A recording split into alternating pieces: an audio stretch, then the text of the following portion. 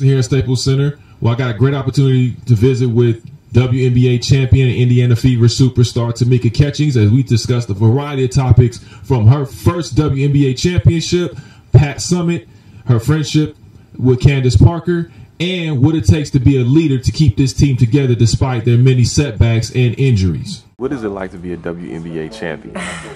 it's a great feeling. Um, you know, definitely coming off of last year and, and getting that win. And, uh, you know, I think just going through the progression of that season last year and, and just uh, being able to step on that podium at the end with that trophy.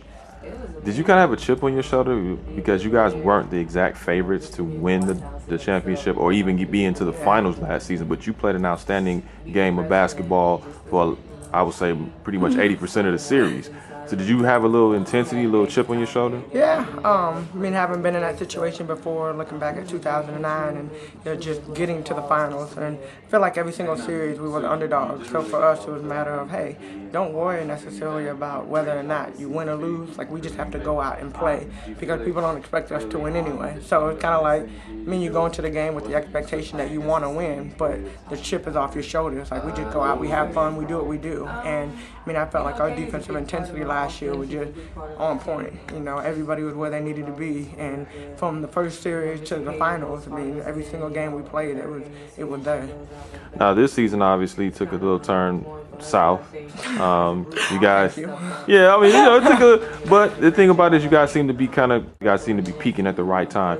What attribute to that specifically, as far as you guys starting now to gel in the second half of the season? I would say just bringing people back, and then the confidence of the team. You know, just looking at players that I mean, when Katie went out and Erin was out and JP, you know, out until from last year, Pohlen, and I mean, we had we're bringing on bringing in a different group, and so you know, you look at a group that's not used to the minutes that they're playing, they're not used to being in the situation that they were in, having to play all these minutes, and that was the beginning, and now you kind of get to the middle where now they're used to being in that position, they're used to playing big minutes, they're used to being called on to make certain plays, and you know, I feel like in the end, in the long run, it'll end up being better for us.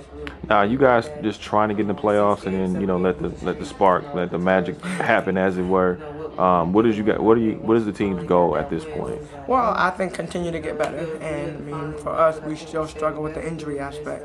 Katie's still out. You know, Shavonte's been out for a few games, so we're trying to figure out when she's you know going to be back in the lineup, and everybody else has kind of got you know injuries here and there too. So I think for us, the biggest thing is just really staying focused on our team, continue to get better. Not necessarily do we want to just make the playoff, and of course we want to go in you know on a high note and carry that momentum on into the playoff. You, you, being a champion, obviously you're very close to Candace Parker. You guys are pretty tight, went to the same alma mater, so to speak.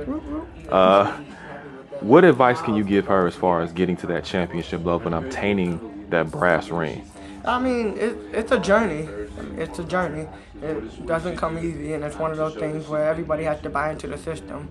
But even as a leader, you know, very few times is one person taking the whole team to a championship. You know, I really last year looking at our team and just everybody stepping up down the stretch. I mean, it really was one through eleven, everybody doing their job. And I think when I look at Candace and just what she's able to do, she's an amazing player, but she's not going to be able to win a championship by herself. And looking at her teammates, I mean, Tyler stepped up big time. She's shooting the ball really well. Nneka can't say enough about her and what she, the energy she brings, and just how she plays and then the whole team around, like the, the supporting cast that she has. She has to continue to, to motivate them, inspire them, you know, and just looking at the goal and looking at the big picture of what you want. Try to keep everybody kind of tuned into to that final goal.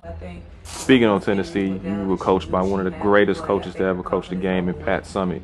What does she mean to you then as well as now on and off the court? Well, I mean, I think when you look at Pat and just a staple that she's been in the women's game, um, we've been very fortunate to have the opportunity to get to know her, not as Pat Summitt the great, but as just, you know, Pat, our coach, Pat Summitt, our friend, our mentor, our mom, you know, having a relationship with someone like that. And I think just for me personally, having had the opportunity to be that close to her, I've really learned how to handle myself in certain situations. And especially being on this platform and this, you know, and, and kind of like the limelight, the spotlight, and everybody's watching to see what you're doing. Um, thinking about how she was and how she handled herself is really like what has kind of made me the person that I am today. From Staples Center, I'm Nick Hamilton reporting.